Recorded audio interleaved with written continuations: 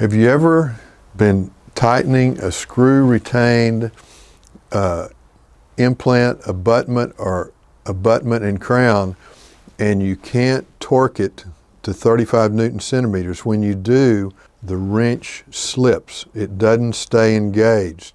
Well, there are two reasons this could happen. One is, remember when the laboratory is fabricating the crown and abutment, they have to torque the screw to 35 newton centimeters to, to get the interproximal contacts and to be sure it's seating correctly.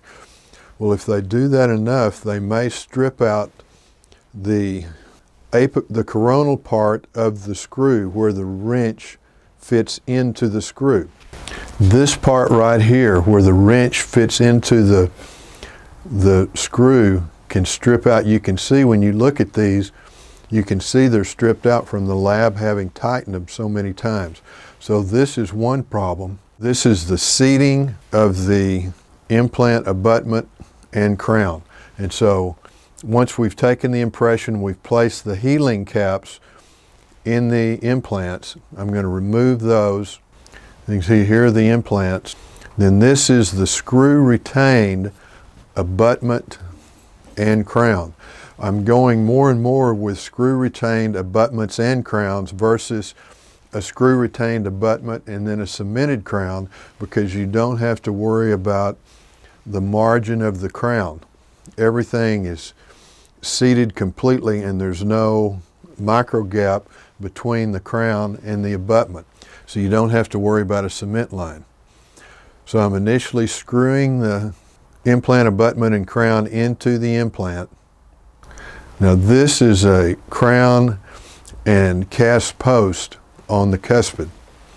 So I'm checking these implant abutments and crowns with floss and you've got to torque them all the way down to check so you can see when I'm torquing these to 35 newton centimeters uh, we're going to have a crown placed and a and post on the cuspid here see it slips and what's happened there are two things that can cause it one is the screw th threads are stripped in the coronal part of the screw, see I can't get it to 35 newton centimeters. The first thing you want to do is be sure this part of the ratchet wrench, this part right here is screwed in all the way. That can be a reason that you can't torque it to 35 newton centimeters. So be sure this is screwed in all the way. The second thing is replace the screw which may be stripped internally right here. So we're putting new screws in on each one of the uh, abutments and crowns. And you can see now, once we've tightened this part of the torque wrench and placed new screws, we can easily torque to 35 newton centimeters. These are the seated screw retained implant abutments and crowns. And like I said, this is a crown with a cast post following endodontics on the cuspid. Now I'm placing plumber's tape into, this is tef Teflon pipe thread tape.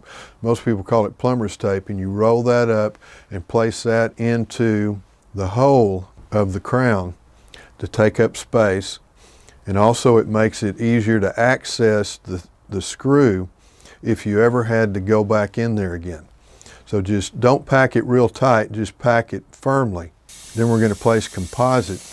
Now you can etch this with 8% hydrofluoric acid.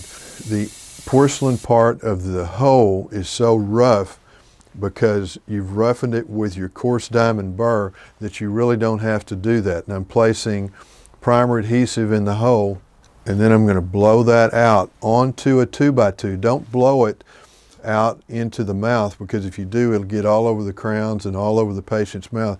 Put a two by two right on top of it and blow that excess primer adhesive onto the two by two. Then cure the primer adhesive prior to placing the composite. And I'm going to place highly filled composite in the hole on top of the plumber's tape and I'm using this football uh, instrument to contour the composite.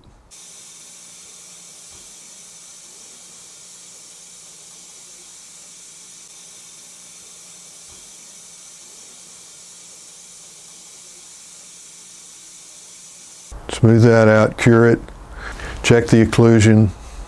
There you have it. So this is what to do if you ever can't torque the screw in an implant abutment and crown to 35 newton centimeters. Change the screw and also screw in that little end piece on your ratchet wrench. And that's the dental minute. These techniques work and they work every time.